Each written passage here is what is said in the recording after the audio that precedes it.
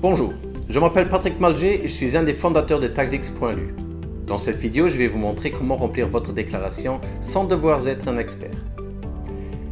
Vous pouvez ou bien commencer une déclaration vide ou bien importer le PDF de votre déclaration d'année précédente pour éviter de devoir recopier manuellement des données comme votre nom, votre matricule, votre adresse ou bien encore les noms de vos éventuels enfants.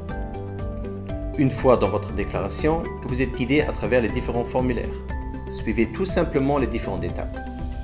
Si vous avez des questions, vous trouvez sur chaque formulaire les questions les plus fréquemment posées ou bien vous pouvez contacter notre équipe par chat en bas à droite de la page.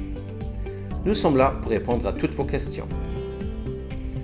Arrivé sur le formulaire Autoscan, il vous suffit de télécharger l'application TaxX.lu Scanner pour importer automatiquement les données de vos certificats fiscaux luxembourgeois. Scannez le code QR dans votre déclaration sur taxx.lu et scannez ensuite vos certificats. Ils sont automatiquement importés dans votre déclaration et vous n'avez plus besoin de les saisir manuellement. Si le système ne reconnaît pas votre certificat, indiquez les données de celui-ci sur le formulaire respectif. À la fin du processus, taxx.lu vous détermine le montant d'impôt à payer ou à récupérer et vous pouvez télécharger votre déclaration d'impôt complétée.